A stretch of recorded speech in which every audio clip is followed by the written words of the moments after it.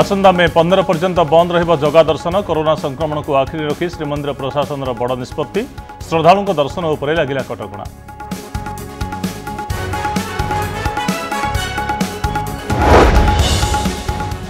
ରାଜ୍ୟରେ ମହଜୁଦ ଅଛି ଅକ୍ସିଜେନ୍ ଦୈନିକ ଆବଶ୍ୟକ ତେଇଶ ଦଶମିକ ସାତ ଆଠ ମେଟ୍ରିକ୍ ଟନ୍ ରାଜ୍ୟରେ ଉତ୍ପାଦନ କ୍ଷମତା ଶହେ ଅଣତିରିଶ ଦଶମିକ ଛଅ ଆଠ ମେଟ୍ରିକ୍ ଟନ୍। ମହାରାଷ୍ଟ୍ର ଓ ଦିଲ୍ଲୀକୁ ଅମ୍ଳଜାନ ଯୋଗାଇ ଦେଉଛି ଓଡ଼ିଶା।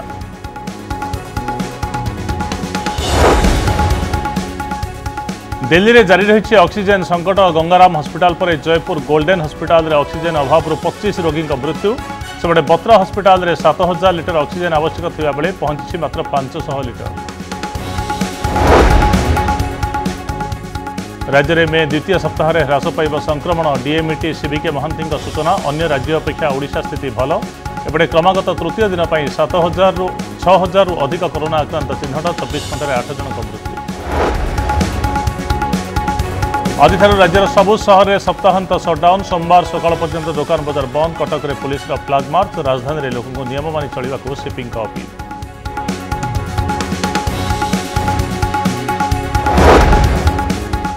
ଉତ୍ତରାଖଣ୍ଡରେ ଭୟଙ୍କର ହିମସ୍ଖଳନ ପରେ ହାଇ ଆଲର୍ଟ ଜାରି। ଭାରତ ଚୀନ ସୀମା ଚମୋଲି ନିକଟରେ ହୋଇଛି ହିମସ୍ଖଳନ। ଦୁଇ ମୃତ ଆଠ ନିଖୋଜ ତିନିଶହ ଚଉରାଅଶୀ ଶ୍ରମିକ ଉଦ୍ଧାର। ସ୍ଥିତି ସମୀକ୍ଷା କଲେ ଉତ୍ତରାଖଣ୍ଡ ମୁଖ୍ୟମନ୍ତ୍ରୀ।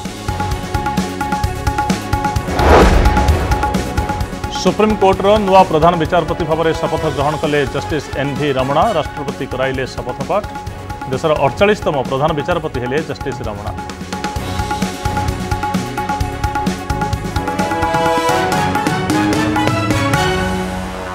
କନକ ନ୍ୟୁଜ୍କୁ ସ୍ୱାଗତ। ବଡ଼ ଖବର ବର୍ତ୍ତମାନ ସମୟରେ ଯେ କରୋନା ସଂକ୍ରମଣ ଦେଖି ଭକ୍ତଙ୍କ ପାଇଁ ଶ୍ରୀମନ୍ଦିର ଆସନ୍ତା ମେ ପନ୍ଦର ତାରିଖ ପର୍ଯ୍ୟନ୍ତ ବନ୍ଦ ରହିବ। ଶ୍ରୀମନ୍ଦିର ମୁଖ୍ୟ ପ୍ରଶାସକଙ୍କ ସହିତ ଆଲୋଚନା ପରେ ନିଷ୍ପତ୍ତି ନିଆଯାଇଛି। ଭକ୍ତଙ୍କର ସାଧାରଣ ଦର୍ଶନ ଉପରେ କଟକଣା ଜାରି କରାଯାଇଛି। ଟ୍ୱିଟ୍ କରି ଏ ସୂଚନା ଦେଇଛି ଶ୍ରୀମନ୍ଦିର ପ୍ରଶାସନ। ରାଜ୍ୟରେ ସଂକ୍ରମଣ ବଢ଼ୁଛି। ଶ୍ରୀମନ୍ଦିର ଦର୍ଶନ ପାଇଁ ନୂଆ ଏସ୍ଓପି ନିର୍ଦ୍ଧାରଣ କରିବା ପାଇଁ ଆଜି ବୈଠକ ବସିଥିଲା। ଆଉ ଶ୍ରୀମନ୍ଦିର ମୁଖ୍ୟ ପ୍ରଶାସକଙ୍କର ଅଧ୍ୟକ୍ଷତାରେ ହୋଇଥିବା ଭର୍ଚୁଆଲ ବୈଠକରେ ଶ୍ରୀମନ୍ଦିର ପ୍ରଶାସନର ଅଧିକାରୀ ପୁରୀ ଜିଲ୍ଲାପାଳ ଏସ୍ପି ଛତିଶା ନିଯୋଗର ସେବାୟତମାନେ ଯୋଗ ଦେଇଥିଲେ। ବୈଠକରେ ସାଧାରଣ ଦର୍ଶନ ବନ୍ଦ କରିବା ପାଇଁ ପ୍ରସ୍ତାବ ଦେଇଥିଲେ ଛତିଶା ନିଯୋଗର ସମସ୍ତ ସେବାୟତ। ଏହାଛଡ଼ା ଗତବର୍ଷ ଅପେକ୍ଷା କୋଭିଡ୍ କ୍ଷତିପୂରଣ ବୃଦ୍ଧି କରିଦେବା ପାଇଁ ସେବାୟତ ଦାବି କରିଛନ୍ତି। ତେବେ ସମସ୍ତ ସ୍ଥିତିକୁ ଆଖିରେ ରଖି ଆସନ୍ତା ମେ ପନ୍ଦର ତାରିଖ ପର୍ଯ୍ୟନ୍ତ ଦର୍ଶନ ବନ୍ଦ ରଖିବା ପାଇଁ ନିଷ୍ପତ୍ତି ନେଇଛି ଶ୍ରୀମନ୍ଦିର ପ୍ରଶାସନ। ଏ ସମ୍ପର୍କରେ ଅଧିକ ସୂଚନା ପାଇଁ ଆମ ପ୍ରତିନିଧି ସୀମାଞ୍ଚଳ ପାଢ଼ୀ ଆମ ସହିତ ଯୋଡ଼ି ହୋଇଛନ୍ତି। ସୀମାଞ୍ଚଳ ବର୍ତ୍ତମାନ ସ୍ଥିତି ଯାହା ଅଛି ଯଦି ମନ୍ଦିରକୁ ଅଧିକାଂଶ ଭକ୍ତ ଆସନ୍ତି ବିଶେଷ କରି ରାଜ୍ୟ ବାହାରର ଭକ୍ତ ଆସନ୍ତି ତାହେଲେ ଅଣାୟତ ହୋଇପଡ଼ିବ ସ୍ଥିତି। ଏହି କଥାକୁ ଆଖି ଆଗରେ ରଖି ମନ୍ଦିରରେ श्रद्धा दर्शन बर्तमान बंद कराला कि। ଦେଖନ୍ତୁ ସଂଗ୍ରାମ ନିଶ୍ଚିତ ପକ୍ଷେ ଗୋଟେ ଗୁରୁତ୍ୱପୂର୍ଣ୍ଣ ପ୍ରସଙ୍ଗ ରହିଛି। କାହିଁକିନା ଦେଖନ୍ତୁ ଯେଭଳି ଭାବରେ ଦିନକୁ ଦିନ କୋଭିଡ଼ର ହାର ବଢ଼ିବାରେ ଲାଗିଛି ଏବଂ ଯଦି ଆଜିର ସ୍ଥିତି ଦେଖିବା ତାହେଲେ ତିନିଶହ ଚଉରାନବେ ରହିଛି। ଏବଂ ଯଦି ଏଇ ସଂଖ୍ୟାକୁ ଯଦି ଆମେ ନିହାତି ପକ୍ଷେ ଗୋଟେ ଆଲୋଚନା କରିବା ନିହାତି କେଉଁଠି ନା କେଉଁଠି ଶ୍ରୀମନ୍ଦିର ଉପରେ ଆସୁଛି। କାହିଁକିନା ଦେଖନ୍ତୁ ପ୍ରତ୍ୟେକ ଦିନ ହଜାର ହଜାର ଭକ୍ତ ଆସିଥାନ୍ତି ମହାପ୍ରଭୁଙ୍କ ଦର୍ଶନ କରିବା ପାଇଁ ଏବଂ ତାଙ୍କୁଠି ସଂକ୍ରମିତ ଏବଂ ସଂକ୍ରମଣ ହୋଇଥାଏ ହେବେ ସେବାୟତ ବୋଲି ଏବଂ ତାକୁ ଦୃଷ୍ଟିରେ ରଖିବା ସହିତ ଯେଉଁ ଆଗକୁ ମହାପ୍ରଭୁଙ୍କର ଅନେକ পূজা নীতি রয়েছে যা কি আগুক অক্ষয় তৃতীয় রয়েছে এবং মহাপ্রভুঙ্কর বাহার চন্দন যাত্রা রয়েছে। এসহ দেবস্থান পূর্ণিমা রয়েছে, রথযাত্রা রয়েছে। এই তমাম যানিযাত্রা দেখিকি যে সেবায়ত মানকর মত লা যে আজ আজির ভর্চুয়াল বৈঠকরে মত লা যে শ্রীমন্দির বন্ধ করা যাও ভক্ত কিছু দিন তাকে আধার করি শ্রীমন্দির মুখ্য প্রশাসক যা ট্যুইট মাধ্যমে যা জনাইছেন আসন্তা মে পনেরো তারিখ পর্যন্ত শ্রীমন্দির সাধারণ ভক্ত বারণ রয়েছে ରହୁଛି ଏବଂ ତାପରେ ହିଁ ପରବର୍ତ୍ତୀ ନିଷ୍ପତ୍ତି ଆସିବ ଯେଉଁ ଏସ୍ଓପିର ପରିବର୍ତ୍ତନ କରାଯିବ କୁହାଯାଇଛି ତେବେ ଆମେ ଯଦି କହିବା ମେ ପନ୍ଦର ତାରିଖ ରହୁଛି ପବିତ୍ର ଅକ୍ଷୟ ତୃତୀୟା ରହୁଛି ମହାପ୍ରଭୁଙ୍କର ରଥ ଅନୁକୂଳର କାର୍ଯ୍ୟ ରହୁଛି। ତାକୁ ଦୃଷ୍ଟିରେ ରଖିକି ମେ ପନ୍ଦର ତାରିଖ ପର୍ଯ୍ୟନ୍ତ ବନ୍ଦ ରଖି ଦିଆଯାଇଛି ଏବଂ ଆସନ୍ତା ଛଅ ତାରିଖରେ ମଧ୍ୟ ଗୋଟେ ବୈଠକ ରହିଛି ଛତିଶା ନିଯୋଗ ସହିତ ବୈଠକ। ବୈଠକରେ ମଧ୍ୟ ଯାହା ନିଷ୍ପତ୍ତି ନିଆଯିବ ତାହା ଉପରେ ସମସ୍ତଙ୍କର ନଜର ରହିବ। ତେବେ କହିପାରିବା ସ୍ପଷ୍ଟ ଭାବେ ମେ ପନ୍ଦର ତାରିଖ ପର୍ଯ୍ୟନ୍ତ ଶ୍ରୀମନ୍ଦିର ବନ୍ଦ ରହୁଛି ସାଧାରଣ ଭକ୍ତଙ୍କ ପାଇଁ। ଅନ୍ୟପଟେ ଆଜିର ବୈଠକ ମଧ୍ୟ ଆଉ ଗୋଟେ ବିନ୍ଦୁ ଉପରେ ଆଲୋଚନା କରାଯାଇଥିଲା ଯେଉଁ ଗତ ବର୍ଷ କୋଭିଡ଼ ସମୟରେ ଯେଭଳି ଭାବରେ ସେବାୟତଙ୍କୁ ତାଙ୍କର ପ୍ରାପ୍ୟ ପାଉଣା ଦିଆଯାଇଥିଲା ଚଳିତ ବର୍ଷ ମଧ୍ୟ ଯେଉଁ ସମୟରେ ମନ୍ଦିର ବନ୍ଦ ରହୁଛି ସେହି ସମୟରେ ମଧ୍ୟ ତାଙ୍କର ପ୍ରାପ୍ୟପଣ ଦେବା ପାଇଁ ଏବଂ ଗତ ବର୍ଷ ତୁଳନାରେ ଚଳିତ ବର୍ଷର ତାର ଅର୍ଥ ରାଶିକୁ ବଢ଼େଇ ଦେବା ପାଇଁ ମଧ୍ୟ ଗୋଟେ ତାଙ୍କର ଦାବି ରହିଛି। ଏଥିସହିତ ଯେଉଁ ଶ୍ରୀମନ୍ଦିର ବନ୍ଦ ରହିବା ସମୟରେ ସେବାୟତଙ୍କ ପରିବାରର ଯେଉଁ ଅଛନ୍ତି କିଛି ସଦସ୍ୟ ସେମାନେ ଯାଇକି ମହାପ୍ରଭୁଙ୍କ ଦର୍ଶନ କରିବେ। ଏଇ ଯେଉଁ ତମାମ ପ୍ରସଙ୍ଗ ଉପରେ ଆଲୋଚନା କରିଥିଲେ। ଏହି ଦୁଇଟି ବିନ୍ଦୁ ପରବର୍ତ୍ତୀ ସମୟରେ ଗୋଟେ ଯାହାକି ନିଷ୍ପତ୍ତି ନିଆଯିବ କିନ୍ତୁ ପ୍ରଥମ ନିଷ୍ପତ୍ତି ନିଆଯାଇଛି ମେ ପନ୍ଦର ତାରିଖ ପର୍ଯ୍ୟନ୍ତ ଶ୍ରୀମନ୍ଦିର ସାଧାରଣ ଭକ୍ତଙ୍କ ପାଇଁ ବନ୍ଦ ରହୁଛି ଏବଂ ମେ ପନ୍ଦର ପରେ ପୁଣି ନିଷ୍ପତ୍ତି ନିଆଯିବ ଯେ ସାଧାରଣ ଭକ୍ତଙ୍କୁ ଦର୍ଶନ ପାଇଁ ଖୋଲାଯିବ କି ପୁଣି ଥରେ ବନ୍ଦ କରାଯିବ ସେହି ସମୟକୁ ଅପେକ୍ଷା ରହିଛି। ତେବେ ଅନ୍ୟପଟେ କହିପାରିବା ଏହି ତମାମ ପ୍ରସଙ୍ଗ ଉପରେ ଆଜି ଭର୍ଚୁଆଲ ବୈଠକ କରାଯାଇଥିଲା ଏବଂ ସିଧାସଳଖ ଭାବେ ଭର୍ଚୁଆଲ ବୈଠକ ଯାହା ନିଷ୍ପତ୍ତି ନିଆଯାଇଥିଲା ଏବଂ ଯେଉଁ ସେବାୟତମାନଙ୍କର ଯେଉଁ ରହିଥିଲା ଯାହା ଉପସ୍ଥାପନ ଥିଲା ଯେ କିଛି ଦିନ ପାଇଁ ବନ୍ଦ କରିବା ପାଇଁ ଉପସ୍ଥାପନ ଥିଲା ତାକୁ ହିଁ ଆଧାର କରିକି ଆଜି ଶ୍ରୀମନ୍ଦିର ମୁଖ୍ୟ ପ୍ରଶାସକ ମଧ୍ୟ ଆ, ଯାହା ଜଣାଇଛନ୍ତି ମେ ପନ୍ଦର ତାରିଖ ପର୍ଯ୍ୟନ୍ତ ଶ୍ରୀମନ୍ଦିର ସାଧାରଣ ଭକ୍ତଙ୍କ ପାଇଁ ବନ୍ଦ ରହୁଛି ଏବଂ ସିଧାସଳଖ ଆମେ କହିପାରିବା ଆସନ୍ତା ସୋମବାର ଠାରୁ କାହିଁକିନା ଆପଣ ଦେଖନ୍ତି ଗତକାଲିଠାରୁ ଶ୍ରୀମନ୍ଦିର ରାତ୍ର ନଅଟା ଠାରୁ ବନ୍ଦ ରହିଛି ନାଇଟ୍ କର୍ଫ୍ୟୁ ଏବଂ ଆଜିର ୱିକେଣ୍ଡ ସଟ୍ଡାଉନ୍ ଆସନ୍ତାକାଲି ମଧ୍ୟ ୱିକେଣ୍ଡ ସଟ୍ଡାଉନ୍ ରହୁଛି ତ ସୋମବାର ଠାରୁ ସାଧାରଣ ଭକ୍ତଙ୍କର ଦର୍ଶନ ବ୍ୟବସ୍ଥା ଥିଲା। ଆମେ କହିପାରିବା ସୋମବାର ଠାରୁ ଏହି ଏହି ବନ୍ଦ ଅବ୍ୟବହିତ ଜାରି ରହିବ ଏବଂ ମେ ପନ୍ଦର ତାରିଖ ପର୍ଯ୍ୟନ୍ତ ଏବଂ ମେ ପନ୍ଦର ତାରିଖ ପରେ ଯାହା କିଛି ନିଷ୍ପତ୍ତି ନିଆଯିବ ତାକୁ ହିଁ ସମସ୍ତଙ୍କର ଅପେକ୍ଷା ରହିବ। କିନ୍ତୁ ସେ ଆମେ ଏତିକି କହିପାରିବା ଯେହେତୁ ଯେଉଁ କୋଭିଡ଼କୁ ଦୃଷ୍ଟିରେ ରଖିକି ସେବାୟତଙ୍କ ସ୍ୱାସ୍ଥ୍ୟକୁ ଦୃଷ୍ଟିରେ ରଖିକି ଶ୍ରୀମନ୍ଦିର ପ୍ରଶାସନ ପକ୍ଷରୁ ଏହି ବ୍ୟବସ୍ଥା ନିଆଯାଇଛି। ଏବଂ ସବୁଠାରୁ ବଡ଼ କଥା ହେଲା ଯେହେତୁ ସେବାୟତମାନେ ସମସ୍ତେ ଯେଉଁମାନେ ମହାପ୍ରଭୁଙ୍କର ସେବା ପୂଜାରେ ନିୟୋଜିତ ରହିଛନ୍ତି ସେମାନେ କିଭଳି ଭାବରେ ଟୀକା ନେବେ ତାପରେ ମଧ୍ୟ ବେଶ ଗୁରୁତ୍ୱ ଦିଆଯାଇଛି ଏବଂ ଯେହେତୁ କେନ୍ଦ୍ର ସରକାରଙ୍କ ଯେଉଁ ଅଠର ବର୍ଷରୁ ଉର୍ଦ୍ଧ୍ୱ ବୟସ୍କଙ୍କ ସମସ୍ତଙ୍କ ପାଇଁ ଟୀକା ନେବେ ସେହି ଆଧାରରେ ଆସନ୍ତା ଏକ ତାରିଖ ଠାରୁ ସମସ୍ତ ସେବାୟତ ଟୀକା ନେବେ। ଏଥିସହିତ ରଥରେ ନିୟୋଜିତ ଥିବା ସମସ୍ତ କର୍ମଚାରୀ ଏବଂ ସେବକ ମଧ୍ୟ ସେମାନେ ମଧ୍ୟ ଟୀକା ନେବେ। ଆ, ଯାହା ନିଷ୍ପତ୍ତି ନିଆଯାଉଛି ଶ୍ରୀମନ୍ଦିର ପ୍ରଶାସନ ପକ୍ଷରୁ। ଏହି ନେଇକି ଗୋଟେ ଆ, ଯେଉଁ ନୀଳାଚଳ ଭକ୍ତ ନିବାକୁ ନିବାସକୁ ମଧ୍ୟ ତାଙ୍କର କ୍ୱାରେଣ୍ଟାଇନ୍ ସେଣ୍ଟର କରାଯାଇଛି ଏବଂ ଯେଉଁ କୋଭିଡ଼ କେୟାର ସେଣ୍ଟର କରାଯାଇଛି ସେଠି ମଧ୍ୟ ଆ, ପ୍ରାୟତଃ ଶହେ କୋଡ଼ିଏରୁ ଅଧିକ ବେଡ୍ ରହିଛି ଏମାନଙ୍କ ସେବାୟତଙ୍କ ମାନଙ୍କ ପାଇଁ ଏବଂ ସ୍ୱତନ୍ତ୍ର ଗୋଟେ ସ୍କ୍ୱାଡ୍ ଗଠନ କରାଯାଇଛି। ସେବାୟତଙ୍କ ପରିବାର କୁ ଯିବେ ସେ ସ୍କ୍ୱାଡ୍ ଯିବ ତାଙ୍କର ଭଲ ମନ୍ଦ ବୁଝିବେ ଏବଂ କିଏ ପଜିଟିଭ୍ ଅଛି କିଏ କାହାର ସ୍ୱାସ୍ଥ୍ୟଗତ କିଭଳି ସମସ୍ୟା ରହିଛି ତାକୁ ବୁଝିବେ ଟିକନିକ୍ ତଦାରଖ କରିବା ସହିତ ଗୋଟେ ଲିଖିତ ଗୋଟେ ଫର୍ମ ରହିଛି ତାକୁ ଭରିବେ ଭରିଲା ପରେ ଶ୍ରୀମନ୍ଦିର ପ୍ରଶାସନକୁ ଜଣାଇ ଦିଆଯିବ ତାପରେ ସେମାନଙ୍କର ସ୍ୱାସ୍ଥ୍ୟଗତ ଯେଉଁ ଚିନ୍ତା କରାଯିବ କୁହାଯାଏ। ତେବେ ଯାହା ହେଉ ନା କାହିଁକି ସଂଗ୍ରାମ ଆମେ କହିପାରିବା ସ୍ପଷ୍ଟ ଭାବେ ଯେ ଆସନ୍ତା ମେ ପନ୍ଦର ତାରିଖ ପର୍ଯ୍ୟନ୍ତ ମହାପ୍ରଭୁଙ୍କ ଶ୍ରୀମନ୍ଦିର ଭକ୍ତ ସୀମାଞ୍ଚଳ- ପାଳନ ରହିଛି କେବଳ ନୀତିକାନ୍ତି ପୂଜା ଏ ସମସ୍ତ କରାଯିବ ସମ୍ପୃକ୍ତ। ସୀମାଞ୍ଚଳ ତାରି ଭିତରେ ଗୋଟେ ବଡ଼ ପ୍ରଶ୍ନ ଆସୁଛି। ଆମେ ଦେଖିଛେ ଯେ ପଶ୍ଚିମବଙ୍ଗରେ ପଡ଼ୁଛି ରାଜ୍ୟରେ ଟ୍ରିପଲ ମ୍ୟୁଟାଣ୍ଟ ଚିହ୍ନଟ କରାଗଲାଣି। ଆଉ ଟ୍ରିପଲ ମ୍ୟୁଟାଣ୍ଟ ଅଧିକ ଘାତକ ଅଧିକ ଭୟଙ୍କର ସଂକ୍ରମଣ କରିବ ଏ ଆଶଙ୍କା କରାଯାଉଛି। ପୁରୀକୁ ଅଧିକ ସଂଖ୍ୟକ ପଶ୍ଚିମବଙ୍ଗରୁ ଭକ୍ତମାନେ ଆସିଥାନ୍ତି। ଯଦି ଭକ୍ତମାନେ ଶନିବାର ରବିବାର ଯଦିଓ ବନ୍ଦ ରହୁଛି କିନ୍ତୁ ଅନ୍ୟ ଦିନରେ ଯଦି ପଶ୍ଚିମବଙ୍ଗରୁ ଭକ୍ତମାନେ ଆସନ୍ତି ଶ୍ରଦ୍ଧାଳୁମାନେ ଆସନ୍ତି ମନ୍ଦିରକୁ ଯାଆନ୍ତି ଦର୍ଶନ କରନ୍ତି ତାଙ୍କରି ମାଧ୍ୟମରେ ଟ୍ରିପଲ ମ୍ୟୁଟାଣ୍ଟର ଭୂତାଣୁ ଓଡ଼ିଶାକୁ ଆସିଯାଇପାରେ ପୁରୀରେ ସଂକ୍ରମଣ ବଢ଼ିପାରେ ଏ ଆଶଙ୍କା ମଧ୍ୟ ଗୋଟେ ମନ୍ଦିର ପ୍ରଶାସନକୁ ଘାରିଥିଲା କି? ସେଇଥିପାଇଁ ଏମିତି ଏକ ନିଷ୍ପତ୍ତି ମଧ୍ୟ ନିଆଗଲା ହଁ ନିହାତି ଭାବେ ସଂଗ୍ରାମ ଯାହା ଆପଣ କହୁଥିଲେ ଯେଉଁ ପଶ୍ଚିମବଙ୍ଗର ଟ୍ରିପଲ ମିଟରକୁ ନେଇକି ଯେଉଁ ପ୍ରଶାସନ ପାଇଁ ଗୋଟେ ମୁଣ୍ଡବିନ୍ଧାର କାରଣ ପାଲଟିଥିଲା କାହିଁକିନା ଆପଣ ଜାଣନ୍ତି ଯେହେତୁ ପଶ୍ଚିମବଙ୍ଗର ପ୍ରାୟ ଭକ୍ତ ଦର୍ଶନାର୍ଥୀ ପର୍ଯ୍ୟଟକମାନେ ପୁରୀ ଆସିଥାନ୍ତି ଏବଂ ତାହା କାରଣରୁ ଆମେ ଜାଣିଛେ ସିଧାସଳଖ ଯାହା ଉପଜିଲ୍ଲାପାଳଙ୍କର ଆଜିର ଉକ୍ତି ଥିଲା ଯେ ପୁରୀକୁ ଆସିବାକୁ ନାଁ କରାଯାଇଛି ପଶ୍ଚିମବଙ୍ଗକୁ ପଶ୍ଚିମବଙ୍ଗର ପର୍ଯ୍ୟଟକମାନଙ୍କୁ ଯଦି ଆସନ୍ତି ସେମାନେ ତାହେଲେ ଆଇସୋଲେସନରେ ରହିବେ କ୍ୱାରେଣ୍ଟାଇନରେ ରହିବେ ତାପରେ କିନ୍ତୁ ଅପରପକ୍ଷରେ ଆମେ କହିପାରିବା ସମସ୍ତ ହୋଟେଲିୟର୍ସମାନଙ୍କୁ ମଧ୍ୟ କଡ଼ାକଡ଼ି ନିର୍ଦ୍ଦେଶ ଦିଆଯାଇଛି ପଶ୍ଚିମବଙ୍ଗର କୌଣସି ପର୍ଯ୍ୟଟକମାନଙ୍କୁ ରଖିବେ ନାହିଁ ବୋଲି। ଏ ପ୍ରସଙ୍ଗରେ ଆମେ ଆଲୋଚନା କରିବା ମୋ ସହିତ ମାଧବ ପୂଜା ପଣ୍ଡା ଅଛନ୍ତି ମାଧବ ଯେଉଁ କୁହାଯାଏ ପଶ୍ଚିମବଙ୍ଗର ଯେଉଁ ପର୍ଯ୍ୟଟକ ଏବଂ ଦର୍ଶନାର୍ଥୀ ଏମାନଙ୍କୁ ପୁରା ପୁରା କଟକଣା କରାଯାଇଛି ଏବଂ କ'ଣ କ'ଣ କଟକଣା କରାଯାଇଛି ଏ ନେଇକି ବୈଠକରେ କିଛି ଆଲୋଚନା କରାଗଲା? ନିଶ୍ଚିତ ଭାବେ ଯଦି ଆଲୋଚନା ନ କରାଯାଇଛି ଉପଜିଲ୍ଲାପାଳ କହିଥିଲେ ଯେ ଯେ ଆପଣମାନେ ସେବାୟତମାନେ ଯଦି କୌଣସି ବାହାରକୁ ବର୍ତ୍ତମାନ ରଥଯାତ୍ରା ଭିତରେ ବାହାରକୁ ଯାଉଛନ୍ତି ତାକୁ ନିଜକୁ ୱାଇଜ୍ ହେଉ ନହେଲେ ଆପଣଙ୍କର ପ୍ରଶାସନିକ ସ୍ତରରେ ହେଉ ତାଙ୍କର ଡାଟା ଦିଅନ୍ତୁ କୁଆଡ଼େ ଯାଉଛନ୍ତି କ'ଣ କରୁଛନ୍ତି ଏବଂ ଯଦି ଆପଣଙ୍କ ଘରକୁ ବି କିଏ କିଏ ଆପଣଙ୍କର ଆ, ତୀର୍ଥଯାତ୍ରୀ ହୁଅନ୍ତୁ ଯିଏ ବି ଆସୁଛନ୍ତି ଆପଣଙ୍କର ନଜରରେ ଆସୁଛି ଆପଣ ତାକୁ ପ୍ରଶାସନିକ ସ୍ତରକୁ ନଜରକୁ ଆଣନ୍ତୁ ଯାହା ଫଳରେ କି ଆମେ ମହାପ୍ରଭୁଙ୍କ ରଥଯାତ୍ରା ସୁରୁଖୁରୁରେ କରିପାରିବା ଏବଂ ଯିଏ ଯଦି କୋଭିଡ଼ ସଂକ୍ରମଣ ହେଇକି ଆସେ କି ପଶ୍ଚିମବଙ୍ଗରୁ ଆସନ୍ତି ତାଙ୍କୁ ଆ, ସେଇ ଅନୁସାରେ ଆଇସୋଲେସନରେ ରଖିକିରି ତାଙ୍କର ସିଏ ଇଏ କାର୍ଯ୍ୟକର କରି- କରିପାରିବେ। ମାଧବ ଆଉ ଗୋଟେ ସମସ୍ତ ମନର ପ୍ରଶ୍ନ ଆସିବ ଯେ ଯେହେତୁ ଆମେ ଜାଣିଛେ ଦୁଇ ଦିନ ସଟ୍ଡାଉନ୍ ଅଛି ୱିକେଣ୍ଡ ସଟ୍ଡାଉନ୍ ରହିଛି ଏବଂ ସୋମବାର ଠାରୁ ଶ୍ରୀମନ୍ଦିର ଖୋଲିବା କଥା। କିନ୍ତୁ ଯେଉଁ ଆଜି ମୁଖ୍ୟ ମୁଖ୍ୟ ଯାହା ଶ୍ରୀମନ୍ଦିର ମୁଖ୍ୟ ପ୍ରଶାସକ ଯାହା ଟ୍ୱିଟ୍ ଥିଲା ଯେ ଆସନ୍ତା ମେ ପନ୍ଦର ତାରିଖ ପର୍ଯ୍ୟନ୍ତ ସେଟା କେବେଠାରୁ ଲାଗୁ କରାଯିବ ଏ ନେଇ କ'ଣ ସୂଚନା ରହିଛି? ନା କୌଣସି ଏଇଟା କ୍ଲିୟର କରାଯାଇ ନାହିଁ। କାରଣ ପ୍ରାୟତଃ ମତ ଥିଲା ଯେ ବନ୍ଦ ସମସ୍ତଙ୍କର ପ୍ରାୟ ଜଣେ ଦୁଇ ଜଣ ଛାଡ଼ିଦେଲେ। ସମସ୍ତଙ୍କର ମତ ଥିଲା ପ୍ରାୟ ବନ୍ଦ କରିବା ପାଇଁ ହଁ ଜଣେ ଦୁଇ ଜଣଙ୍କର ଥିଲା ଯେ ଓଡ଼ିଶା ଲୋକଙ୍କୁ ବି ସେଇ ବାସ୍ତରି ଘଣ୍ଟାର କୋଭିଡ ରିପୋର୍ଟ ଦେଖାଯାଇ ଭିତରକୁ ଛଡ଼ାଯାଉ ଯେତେବେଳେ ସବ- ସମସ୍ତେ କହିଲେ ଯେ ନାଇଁ ସେବାୟତଙ୍କ ସ୍ୱା- ସ୍ୱାସ୍ଥ୍ୟ ସୁରକ୍ଷା ଦୃଷ୍ଟିରୁ ପ୍ରଥମେ ତ ବନ୍ଦ କରାଯାଉ ସେଥିପାଇଁ ସେଇଟା ତ ନିଷ୍ପତ୍ତି ହେଇଯାଇଛି ବନ୍ଦ କରାଯିବା ପାଇଁ କିନ୍ତୁ କେବେଠୁ ହେବ ଏଇଟା ଆ, ପ୍ରଶାସକ କହିନାହାନ୍ତି ମୁଖ୍ୟ ପ୍ରଶାସକ ସିଏ କହିଛନ୍ତି ଯେ ଆ, ଆ, ନିଶ୍ଚିତ ଆଜି ତିନିଟା ପରେ ହିଁ ସେ ଆମକୁ ମାନଙ୍କୁ ଜଣାଇବେ କେବେଠୁ କାର୍ଯ୍ୟ ଏକ ତାରିଖକୁ କି ସୋମବାରଠୁ ସେ ଜଣାଇବେ ଆ, ନିହାତି ଭାବେ ସଂଗ୍ରାମ ବିଶେଷ ଭାବେ ଆଲୋଚନା କରୁଥିଲେ ବିସ୍ତୃତ ଭାବେ ମୋ ସହିତ ମାଧବ ପୂଜା ପଣ୍ଡା ଥିଲେ ଯିଏକି କହିବା କଥା ପରବର୍ତ୍ତୀ ଆଜି ହିଁ ସ୍ପଷ୍ଟ ହେବ ଯେ କେବେଠାରୁ ବନ୍ଦ ହେବ ଶ୍ରୀମନ୍ଦିର ନା ଆସନ୍ତା ସୋମବାର ଠାରୁ ନା କେବେଠାରୁ ବନ୍ଦ ହେବ। କିନ୍ତୁ ଏଇଟା ସ୍ପଷ୍ଟ ହୋଇଯାଇଛି ଯେ ମେ ପନ୍ଦର ତାରିଖ ପର୍ଯ୍ୟନ୍ତ ଶ୍ରୀମନ୍ଦିର ବନ୍ଦ ରହୁଛି ଭକ୍ତଙ୍କ ପାଇଁ। ତେବେ ଆଗକୁ କିଭଳି ନୀତିକାନ୍ତି ରହିବ ଏବଂ ସ୍ୱାସ୍ଥ୍ୟଗତ ସମସ୍ୟା କିଭଳି ସେବାୟତଙ୍କ ରହିବ ତା ଉପରେ ବେଶ ଫୋକସ୍ ରହିଛି। ଏଥିସହିତ ପଶ୍ଚିମବଙ୍ଗ ଯେଉଁ ପର୍ଯ୍ୟଟକ ହୁଅନ୍ତୁ ଯେଉଁ ଦର୍ଶନାର୍ଥୀ ହୁଅନ୍ତୁ ସେମାନଙ୍କ ଦୃଷ୍ଟିରୁ ମଧ୍ୟ ସେମାନେ ଆସନ୍ତି ପ୍ରାୟତଃ ପର୍ଯ୍ୟଟକ ଆସ- ଆପଣ ଜାଣିଥିବେ ଯେ ପୁରୀକୁ ପ୍ରାୟତଃ ପଶ୍ଚିମବଙ୍ଗର ପର୍ଯ୍ୟଟକ ଆସିଥାନ୍ତି ଯେଉଁ ଟ୍ରିପଲ୍ ମ୍ୟୁଟାଣ୍ଟକୁ ନେଇକି ମଧ୍ୟ ଚିନ୍ତା ଥିଲା ପ୍ରଶାସନ ଯେ କିଭଳି ଭାବରେ ଏ ଭକ୍ତ ଏବଂ ଦର୍ଶନାର୍ଥୀମାନଙ୍କୁ ବାରଣ କରାଯିବ। ତାପରେ ମଧ୍ୟ ବେଶ ଫୋକସ୍ ରହିଛି। ସବୁ ତମାମ ପ୍ରସଙ୍ଗକୁ ନେଇକି ଶ୍ରୀମନ୍ଦିର ମୁଖ୍ୟ ପ୍ରଶାସକ ଯେଉଁ ନିଷ୍ପତ୍ତି ନେଇଛନ୍ତି ଏବଂ ସବୁ ସ୍ତରରେ ମଧ୍ୟ ସ୍ୱାଗତ କରାଯାଉଛି। ସଂଗ୍ରାମ। ଧନ୍ୟବାଦ। ବହୁତ ବହୁତ ଧନ୍ୟବାଦ ଅ, ସମସ୍ତ ସୂଚନା ପାଇଁ ସୀମାଞ୍ଚଳ।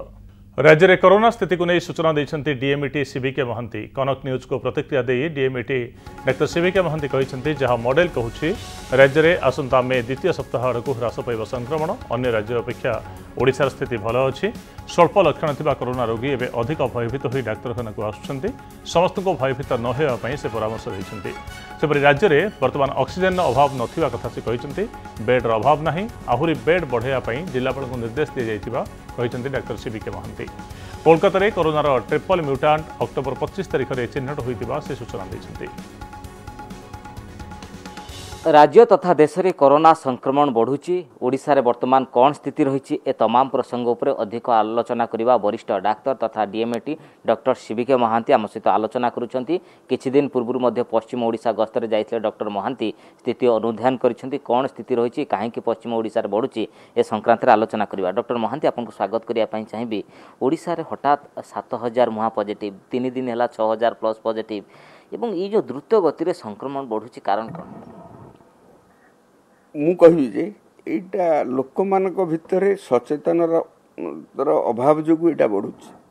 କାହିଁକି ନା ଆପଣମାନେ ଲକ୍ଷ୍ୟ କରନ୍ତୁ ଯେ ବର୍ଡ଼ର ଷ୍ଟେଟ୍ରେ କାହିଁ ବଢ଼ିଲା। ବର୍ଡ଼ର ଷ୍ଟେଟ୍ରେ ଯେତେବେଳେ ଛତିଶଗଡ଼ରେ ସଂଖ୍ୟା ବଢ଼ିବା ଆରମ୍ଭ ହେଲା ସେଇ ଟାଇମ୍ରେ ଆପଣମାନେ ଜାଣିଥିବେ ଯେ ରାୟପୁରରେ ଗୋଟେ ଏଲାଇଟ୍ କ୍ରିକେଟ୍ ମ୍ୟାଚ୍ ଚାଲିଥିଲା। ସେତେବେଳକୁ ହଜାର ହଜାର ସଂଖ୍ୟକ ଲୋକ ସେଠିକି ଯାଉଥିଲେ। ତେଣୁ କ୍ରସ୍ ବର୍ଡ଼ର ଆକ୍ଟିଭିଟିଟା ବହୁତ ବଢ଼ି ଯାଇଥିଲା। ସେମାନେ ସେଠିକି ଯାଉଥିଲେ କିଛି ଲୋକ ସଂକ୍ରମିତ ହେଉଥିଲେ ଏଠିକି ଆସୁଥିଲେ। ତାପରେ ସେମାନେ ଅନ୍ୟମାନଙ୍କୁ ସଂକ୍ରମିତ କରୁଥିଲେ।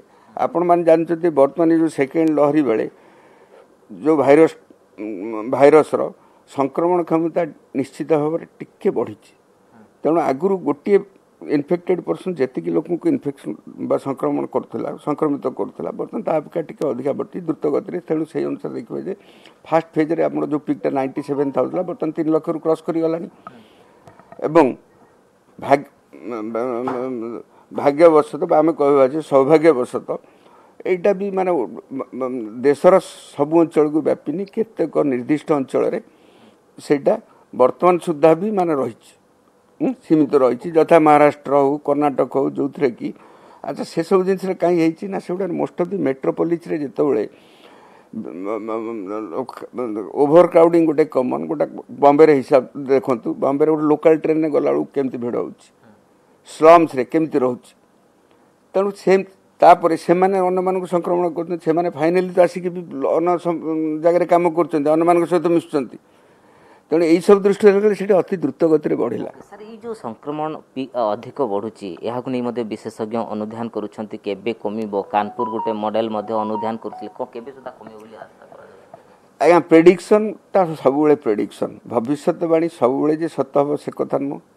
କିନ୍ତୁ ମୁଁ ଗୋଟେ କଥା କହିବି ଯେ ବର୍ତ୍ତମାନ ଯେଉଁ ଲାଷ୍ଟ ପ୍ରେଡିକ୍ସନଟା ଆସିଛି ଫ୍ରମ୍ କାନପୁର ଆଇଆଇଟି ସେଟା ନିଶ୍ଚୟ ଗୋଟେ ଅଗ୍ରଣୀ ସଂସ୍ଥା ସେମାନେ ବିଭିନ୍ନ କମ୍ପ୍ୟୁଟର ମଡେଲ ବିଭିନ୍ନ ଇଣ୍ଟରନ୍ୟାସନାଲ ନ୍ୟାସନାଲ ମଡେଲକୁ ନେଇକି ଦେଖିଛନ୍ତି ସେମାନେ କ- ପ୍ରଥମେ କହିଥିଲେ ଯେ ଏଇ ଏପ୍ରିଲ ମାସ ମ- ମଧ୍ୟଭାଗ ସୁଦ୍ଧା ସେଟା କମିବା ଆରମ୍ଭ ହେବ ତାପରେ ସେମାନେ ତାଙ୍କର ନିଜର ଅପିନିଅନଟାକୁ ରିଭାଇଜ କରିଛନ୍ତି ସେମାନେ କହିଛନ୍ତି ଏଇ କମିବାଟା ମେ ମାସ ପର୍ଯ୍ୟନ୍ତ ସେଇଟା ବଢ଼ିଯାଇପାରେ ବା ମେ ମାସରେ ସେଇଟା କମିବ ଆ, କିନ୍ତୁ ସାର୍ ବର୍ତ୍ତମାନ ଆ, ଓ, ପଶ୍ଚିମ ଓଡ଼ିଶାରେ ଏଇ ଯେଉଁ ବଢ଼ୁଛି ବେଡ୍ କ୍ରାଇସିସ୍ ରହିଛି କି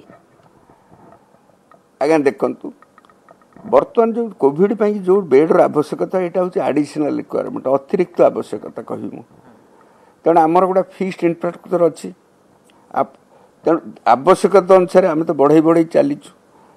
ଆମେ ବି ହସ୍ପିଟାଲରେ ଦରକାର ପଡ଼ିଲେ ବି ମାନେ ଯେ- ମ- ମ- ବର୍ତ୍ତମାନ ଯେହେତୁ ରୁଟିନ୍ ପେସେଣ୍ଟର ନମ୍ବର କମି ଆସିଲାଣି ତେଣୁ ବି ଆମେ ସେମାନଙ୍କୁ ବି ଅନ ବେଡ଼୍ ରଖିପାରିବୁ। ଓଡ଼ିଶାରୁ ଅନ୍ୟ ରାଜ୍ୟକୁ ଅକ୍ସିଜେନ୍ ଯୋଗାଣ ଭିତରେ ସ୍ୱାଭାବିକ ଭାବରେ ପ୍ରଶ୍ନ ଉଠୁଛି ଯେ ଆମ ରାଜ୍ୟରେ ପର୍ଯ୍ୟାପ୍ତ ପରିମାଣରେ ଅକ୍ସିଜେନ୍ ମହଜୁଦ ଅଛି ତ? ଅନ୍ୟ ରାଜ୍ୟ ତୁଳନାରେ ଓଡ଼ିଶାରେ କରୋନା ସ୍ଥିତି ଭଲ ଅଛି। ହେଲେ ପ୍ରତିଦିନ ଯେଭଳି ଛଅ ହଜାରରୁ ଅଧିକ ଆକ୍ରାନ୍ତ ଚିହ୍ନଟ ହେଉଛନ୍ତି ଆଗକୁ ପରିସ୍ଥିତି ବିଗିଡ଼ିଲେ ଆମେ କେତେ ଦୂର এভাবে স্থিতিতে আসুন দেখা রাজ্যের কত পরিমাণের অক্সিজেন উৎপাদন হচ্ছে কত গচ্ছিত অছে কত গুড়িকরে অক্সিজেনর আবশ্যকতা রয়েছে ওড়শার অক্সিজেনর হিসাব কিতাব কিছু হিসাব কিতাব কিছু এমিটি হসপিটালে অনেক এক হাজার ছশো পঞ্চস্তরী আক্রান্ত আইসিউরে তাঁর ভিতর চারিশহ অଣାনবে জন রোগী অনেক যে পাখে অক্সিজেন রহবা নিহতি দরকার বা যোগাই দিয়ে যাওয়ার আবশ্যকতা রয়েছে ବିନା ଅକ୍ସିଜେନ୍ରେ ଆଇସିୟୁରେ ପେସେଣ୍ଟ ରହିପାରିବେ ନାହିଁ। କରୋନା ଆକ୍ରାନ୍ତଙ୍କ ପାଇଁ ଦୈନିକ ଦରକାର ପଡ଼ୁଛି ତେଇଶ ଦଶମିକ ସାତ ଆଠ ମେଟ୍ରିକ୍ ଟନ୍ ଏବଂ ଆଇସିୟୁ ଯିବା ପାଇଁ ହେଲେ ରୋଗୀକୁ ଗୁରୁତର ସ୍ୱାସ୍ଥ୍ୟାବସ୍ଥା ହୋଇଥିବା କଥା ଦେଖି ଡାକ୍ତରମାନେ ଆଇସିୟୁକୁ ରେଫର କରନ୍ତି ଏବଂ ଯେଉଁ କରୋନା ରୋଗୀମାନେ ଆଇସିୟୁକୁ ରେଫର ହୁଅନ୍ତି ସେମାନଙ୍କୁ ଅକ୍ସିଜେନ୍ ଦେବା ନିହାତି ଦରକାର। ରାଜ୍ୟରେ ଅକ୍ସିଜେନ୍ ଉତ୍ପାଦନ କ୍ଷମତା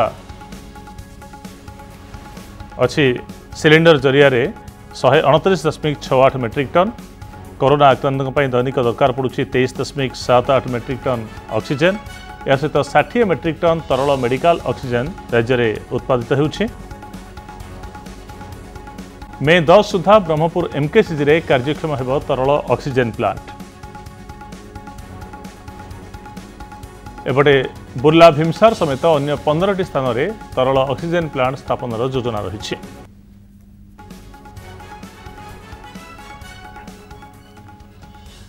ଅକ୍ସିଜେନ୍ ଅଭାବରୁ ଦିଲ୍ଲୀର ସାର୍ ଗଙ୍ଗାରାମ ହସ୍ପିଟାଲରେ ଚବିଶ ଘଣ୍ଟାରେ ପଚିଶ ଜଣ ରୋଗୀଙ୍କର ମୃତ୍ୟୁ ହୋଇଥିଲା। ଏବେ ପୁଣି ଦିଲ୍ଲୀସ୍ଥିତ ଜୟପୁର ଗୋଲ୍ଡେନ୍ ହସ୍ପିଟାଲରେ କୋଡ଼ିଏ ଜଣଙ୍କର ମୃତ୍ୟୁ ଅଭିଯୋଗ ଆସୁଛି। ସେପରି ବତ୍ରା ଓ ଗଙ୍ଗାରାମ ହସ୍ପିଟାଲରେ ଏବେ ବି ଅକ୍ସିଜେନ୍ର ଘୋର ଅଭାବ ରହିଛି। ଅକ୍ସିଜେନ୍ ଅଭାବକୁ ନେଇ ଦିଲ୍ଲୀ ହାଇକୋର୍ଟରେ ପହଞ୍ଚିଛି ଗୋଲ୍ଡେନ୍ ହସ୍ପିଟାଲ। ଗଙ୍ଗାରାମ ହସ୍ପିଟାଲରେ ମାତ୍ର ଏକ ଘଣ୍ଟା ପାଇଁ ଅକ୍ସିଜେନ୍ ଉପଲବ୍ଧ ଥିବା କୁହାଯାଇଛି। କରୋନା ଆକ୍ରାନ୍ତଙ୍କୁ ସଞ୍ଜୀବନୀ ଯୋଗାଉଥିବା ଅକ୍ସିଜେନ୍ର ଅଭାବକୁ ନେଇ ରାଜନୀତି ମଧ୍ୟ ତେଜିଛି। एआई एमआईएम मुख्य असदुद्दीन ओएसी बीजेपी उपर बर्षिंट कोरोना महामारी द्वितीय लहर को मुकबिला कर केन्द्र सरकार संपूर्ण विफल होता से अभियोग कर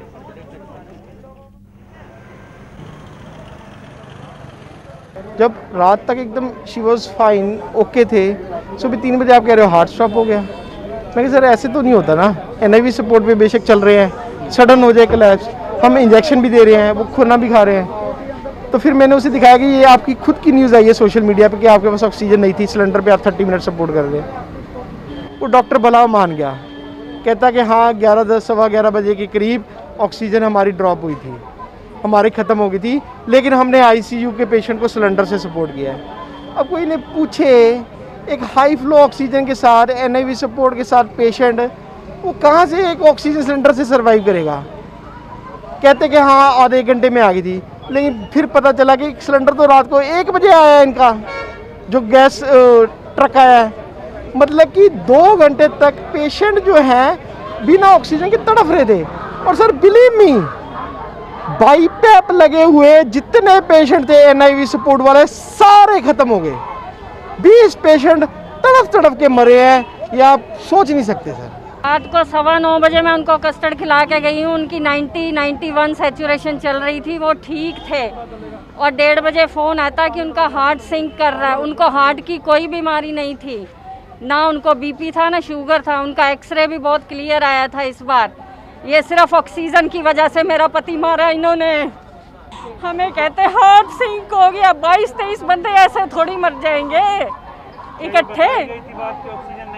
नहीं बताई। हमें ये कहा उनका हार्ट सिंक कर रहा है हम कोशिश कर रहे हैं जैसे ही मैं हॉस्पिटल पहुंची बताया डेथ हो चुकी है ସେପଟେ ଦିଲ୍ଲୀର ବତ୍ରା ହସ୍ପିଟାଲ କର୍ତ୍ତୃପକ୍ଷ କହିଛନ୍ତି ଏଠାରେ ଆଜି ସକାଳ ସାତଟାରେ ଅକ୍ସିଜେନ୍ ଶେଷ ହୋଇଯାଇଥିଲା ଆକ୍ରାନ୍ତଙ୍କ ପାଇଁ ଦୈନିକ ପ୍ରାୟ ସାତ ହଜାର ଲିଟର ଅକ୍ସିଜେନ୍ ଦରକାର ପଡ଼ୁଥିବା ବେଳେ ମାତ୍ର ପାଞ୍ଚଶହ ଲିଟର ଅକ୍ସିଜେନ୍ ପହଞ୍ଚିଛି ହସ୍ପିଟାଲରେ ତିନିଶହ ରୋଗୀ ଭର୍ତ୍ତି ହୋଇଥିବା ବେଳେ ଅଠଚାଳିଶ ଜଣ ଆଇସିୟୁରେ ଅଛନ୍ତି ତେଣୁ ଯାହା ଅକ୍ସିଜେନ୍ ଆସିଛି ତାହା କେବଳ ଏକ ଘଣ୍ଟା ଯିବ ବୋଲି କହିଛନ୍ତି ହସ୍ପିଟାଲ କର୍ତ୍ତୃପକ୍ଷ ऑक्सीजन की इमरजेंसी कल शाम से ही चल रही है। मॉर्निंग में सात, साढ़े छः सात बजे के करीब हमारे पास आधा पौन घंटे की बची थी। इस समय हमारे पास ऑक्सीजन नील थी और हमने अपने यहाँ आईसीयू फैसिलिटीज़ को टोटल ऑक्सीजन दे रहे थे। Rest we are supplying by cylinders. अभी अभी हमें 500 लीटर की आपूर्ति हुई है। नौ 500 लीटर की आपूर्ति आधा पौन घंटे की है। वहन जब एक दिन की टोटल रिक्वायरमेंट ठीक अबाउट 8000 लीटर्स है। जिस जगह 8000 लीटर लगती है तो 500 लीटर में हमें क्या होगा, हमारी समझ में नहीं आता और भविष्य में ये भी नहीं पता कि आधा घंटे बाद क्या होने वाला है, क्या मिलने वाला है। हमें 500 लीटर मिली है 12 घंटे हाथ जोड़ने के बाद। अगला 500 लीटर कब मिलेगा, हमें नहीं पता है। हमारी समझ में नहीं आता, हम कैसे करें? वहाँ पे इतने सारे पेशेंट्स हैं अबाउट साढ़े तीन सौ पेशेंट अस्पताल में हैं, अड़तालीस पेशेंट आईसीयू में हैं। कोविड पेशेंट का ट्रीटमेंट में प्रश्न चिन्ह अगर नहीं है तो सिर्फ़ एक चीज़ में जिसमें ऑक्सीजन। बाकी कोई कहता है रेमसिविर देना चाहिए, कुछ लोग कहते हैं स्टेरॉयड देना चाहिए, लेकिन ऑक्सीजन के लिए कोई नहीं कहता नहीं देना चाहिए। सो आप समझिए the treatment of choice in COVID hospital is oxygen only अगर वही नहीं मिलेगी तो पेशेंट्स का क्या होगा? मैं समझता हूँ कि ये एक राष्ट्रीय विपदा है। ये सिर्फ़ दिल्ली के तीन लाख छत्तीस हज़ार केसेस दिल्ली के केसेस नहीं, मैं कह रहा हूँ पूरे देश में तीन लाख छत्तीस हैं। और जैसा प्रडिक्शन है कि अभी अनदर टेन फिफ्टीन डेज़ तक ये केस बढ़ेंगे तो I think five to ten lakhs के बीच में जो देश की इस संख्या होने वाली है तो हमको बहुत ही सावधान रहना है। और ये सोच के चलना है कि आगे आने वाले दस दिनों में किस तरह की चीज़ों की कितनी ज़रूरत होगी, वो सप्लाई एटलीस्ट ट्रीटमेंट करने वाले चिकित्सकों को डॉक्टर्स को किसी भी तरह से निराश नहीं होना चाहिए सरकार के जो कार्य हैं वो सरकार करे हमारे जो कार्य हैं हम कर रहे हैं ଆଜିଠାରୁ ରାଜ୍ୟରେ ସପ୍ତାହ ଶେଷ ସଟ୍ଡାଉନ୍ ଏ ବନ୍ଦ ପାଇଁ ସବୁଠାରୁ ଅଧିକ ପ୍ରଭାବିତ ହୋଇଛନ୍ତି ଚାଷୀ ଆଜି ନିଜ କଷ୍ଟ ଉପାର୍ଜିତ ପନିପରିବା ନେଇ ବଜାରକୁ ଆସିଥିଲେ ଚାଷୀ ହେଲେ ବଜାର ବନ୍ଦ କଟକଣା ପାଇଁ ପନିପରିବା ବିକ୍ରି କରିପାରିନାହାନ୍ତି ଆଉ ବସ୍ତା ବସ୍ତା ପନିପରିବା ଧରି ନିରାଶ ହୋଇ ଘରକୁ ଫେରିଛନ୍ତି। ତୋଳାଯାଇଥିବା ପନିପରିବା ରହିଲେ ଖରାପ ହୋଇଯିବ ଆଉ ସଟ୍ଡାଉନ୍ ପାଇଁ ବଜାରରେ ବିକ୍ରି କରିହେବନି ପନିପରିବା। ତେବେ ତୋଳାଯାଇଥିବା ପନିପରିବା କ'ଣ ହେବ ତାକୁ ନେଇ ଚିନ୍ତାରେ ପଡ଼ିଯାଇଛି ଚାଷୀ। ଡେଲି ପନିପରିବାରେ ଉଠୁଛି ଏବେ ତ ବଜାର ବଜାର ଘାଟ ପୁରା ବନ୍ଦ। ଆମେ ଏବେ পনিপরিবার কিছু করব আমার তো সব নষ্ট হয়ে যাচ্ছে। এবার বোজার আনলি বিকবা পাই বোজার বন নেই যাচ্ছি ঘরে। তাও সোমবার দিন বোধ হয় খুলিব হাটো সোমবার দিন আসবি। ভাজি ভাজি ভাজি টিকে বিক্রি করছি, ধনেপত্র, পালং ভাজি, লাল ভাজি। ମାର୍କେଟ ଆସିକରି ଦେଖିଲି ସଟ୍ଡାଉନ୍ ଆଜି କେମିତି ବିକିବି ପନିପରିବା ସବୁ ଖରାପ ହେଇଯିବ ଏତେ କଷ୍ଟ କରି ଆମେ ମଞ୍ଜି ସାର ସବୁ କିଣିକରି ଚାଷବାସ କରି କରି ଆଉ ମାର୍କେଟରେ ଆଣିଲେ ଏବେ ଯଦି ବେପାର କରିବା ମୁଁ ନ- ନ ଦେବେ ତାହେଲେ ଆମେ କ'ଣ କରିବି ଏଇଟା ଦୁଇ ହଜାର ଟଙ୍କାରେ ଆମେ ସମାନ ଆଣିଲି ଧନିଆ ପତ୍ର ହେଲେ ସେ ଧନିଆ ପତ୍ର ଆମେ ଫିଙ୍ଗି ଦେଲେ ମଧ୍ୟ ଆମ ପିଲା ଛୁଆ କ'ଣ ଖାଇବେ ଏଟା ନେଇକରି ଆମେ ଚାଉଳ ଡାଉଲ କିଣିକରି ଆମେ ଖାଇବା ପନିପରିବା ତ କିଣିକରି ଖାଇବା ହେଲେ ଆମ ପିଲା ଛୁଆ କ'ଣ ଖାଇବେ ଏ ଯଦି ମାର୍କେଟ ବନ୍ଦ ଥିବ ସକାଳଠୁ ଅବଧି ବନ୍ଦ ଥିବ ତାହେଲେ କ'ଣ କରିବେ? ଚାଷୀ ଲୋକ ମରିବେ ନା ବାଛିବେ? ଉତ୍ତରାଖଣ୍ଡରେ ପୁଣି ଦେଖାଦେଇଛି ପ୍ରାକୃତିକ ବିପତ୍ତି। ଭାରତ ଚୀନ ସୀମାନ୍ତ ଚମୋଲି ଜିଲ୍ଲାର ସୁମନା ଗାଁ ନିକଟରେ ଗତକାଲି ରାତିରେ ଘଟିଛି ବଡ଼ ଧରଣର ହିମସ୍ଖଳନ। ପ୍ରବଳ ବରଫପାତ ପରେ ଏପରି ସ୍ଥିତି ଉପୁଜିଛି। ଭାରତୀୟ ସେନା ସୂତ୍ରରୁ ମିଳିଥିବା ସୂଚନା ଅନୁସାରେ ବର୍ତ୍ତମାନ ସୁଦ୍ଧା ହିମସ୍ଖଳନ ଯୋଗୁଁ ପ୍ରଭାବିତ ଅଞ୍ଚଳରୁ ତିନିଶହ ଚଉରାଅଶୀ ଲୋକଙ୍କୁ ସୁରକ୍ଷିତ ଉଦ୍ଧାର କରାଯାଇଛି। ଆଠ ଜଣଙ୍କର ଶବ ଉଦ୍ଧାର ହୋଇଛି। ହିମସ୍ଖଳନ ଯୋଗୁଁ ବର୍ଡର ରୋଡ୍ ଅର୍ଗାନାଇଜେସନର ଗୋଟିଏ କ୍ୟାମ୍ପ ମଧ୍ୟ ପ୍ରଭାବିତ ହୋଇଛି। ଚୀନ ସୀମାନ୍ତ ଯୋଶୀମଠ ସେକ୍ଟରରେ ଘଟିଛି ଏ ଘଟଣା। ଏହାପରେ ଉତ୍ତରାଖଣ୍ଡରେ ହାଇ ଆଲର୍ଟ ଜାରି କରାଯାଇଛି।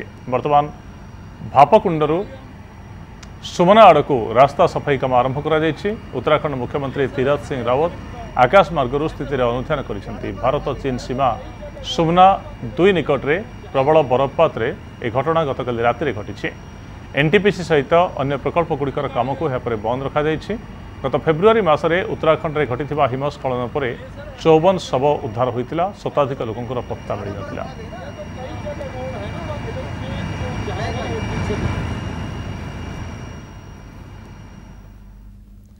ସମୟ ହୋଇଛି ବର୍ତ୍ତମାନ ପାଇଁ ଖବର ଏତିକି। ନମସ୍କାର।